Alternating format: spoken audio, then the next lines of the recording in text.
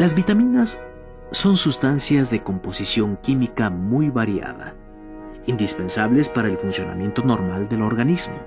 Resultan especialmente necesarias durante ciertos momentos de la vida como el embarazo, la lactancia y el crecimiento. Asimismo, ayudan a enfrentar las fiebres causadas por infecciones. Aunque no producen calorías ni forman tejidos, las vitaminas son imprescindibles para que el organismo pueda utilizar los alimentos.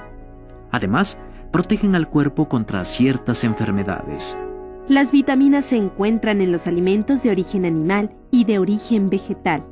Existen también como productos farmacéuticos, pero su empleo es delicado. Su consumo en exceso resulta nocivo para la salud. Si se ingieren las vitaminas en forma de productos farmacéuticos, debe hacerse bajo estricta supervisión médica. Lo más recomendable es consumirlas directamente de los alimentos.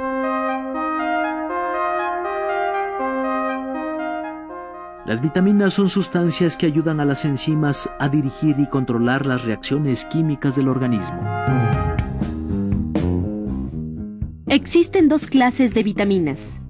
Las vitaminas hidrosolubles y las vitaminas liposolubles.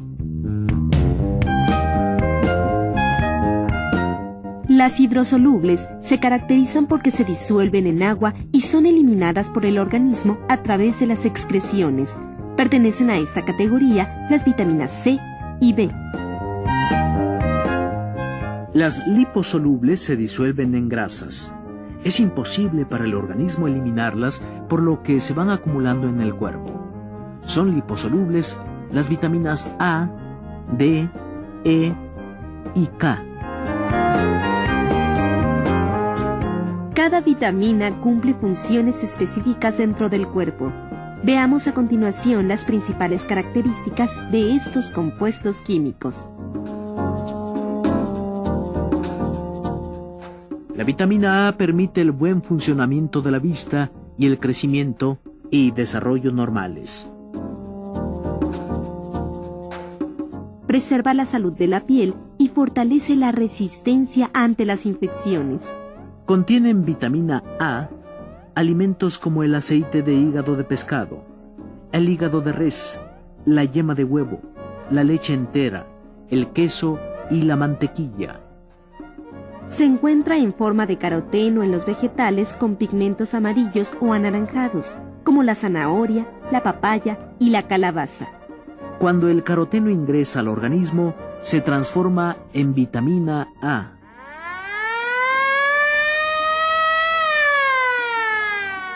La deficiencia de esta vitamina favorece las infecciones del aparato respiratorio y algunas enfermedades de los ojos como la ceguera nocturna. Ocasiona también algunos padecimientos en la piel como la resequedad, la aparición de escamas y la lesión de los revestimientos epiteliales de las cavidades del cuerpo.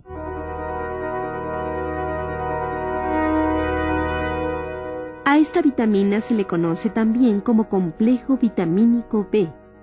Se le llama así porque antes se pensaba que era una sola vitamina. Sin embargo, las investigaciones revelaron que se trataba de varias sustancias. Entre ellas se encuentran las vitaminas B1 o cloruro de tiamina y la vitamina B2 o riboflavina.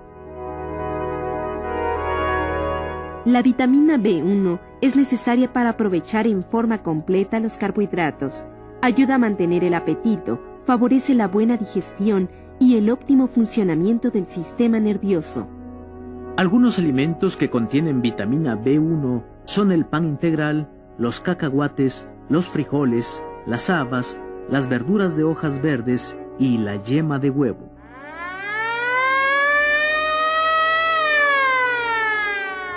La deficiencia de vitamina B1 produce la enfermedad del beriberi, que causa dolores neuromusculares, parálisis, pérdida de apetito e indigestiones frecuentes.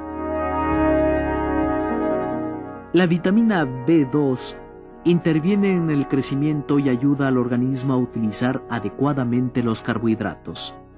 También resulta esencial para la salud de los tejidos epiteliales. Se obtiene esta vitamina ingiriendo alimentos como la leche, el queso, el hígado de res, la carne magra y las verduras de hojas verdes.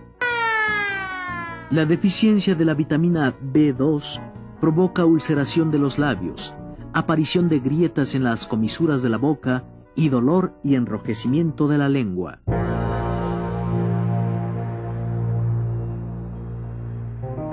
Conocida también como ácido ascórbico, la vitamina C es necesaria para la formación y la conservación de sustancias que mantienen juntas las células de los huesos, la piel y otros tejidos. La vitamina C se destruye fácilmente por la acción del calor. Por ello se recomienda consumir frescos y crudos los alimentos que la contienen. Son ricas en vitamina C las frutas cítricas como las naranjas, los limones y las toronjas. También proporcionan esta vitamina las fresas, las guayabas, los chiles y los jitomates. La deficiencia de vitamina C produce la enfermedad llamada escorbuto. Algunos síntomas de este padecimiento son anemia, debilidad, encias hinchadas y sangrantes y retardo en la cicatrización de las heridas.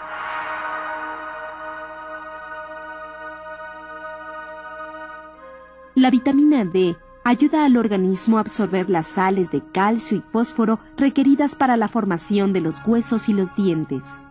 Entre los alimentos que contienen esta vitamina se encuentran la carne y el aceite de hígado de pescado, la leche, la mantequilla y el huevo.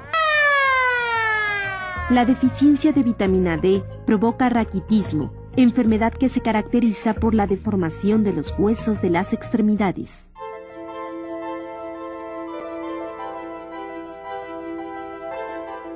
La vitamina E se relaciona con las funciones de la reproducción, pues contribuye a evitar la esterilidad.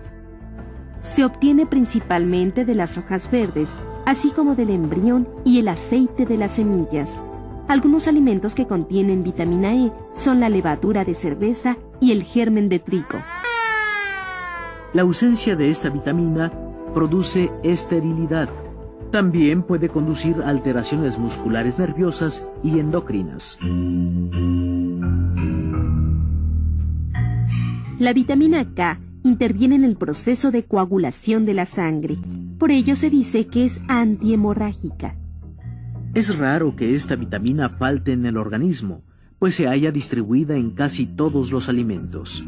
Algunos alimentos especialmente ricos en vitamina K son las espinacas y la alfalfa tierna. Cuando se presentan deficiencias de esta vitamina, es común que se produzcan hemorragias frecuentes.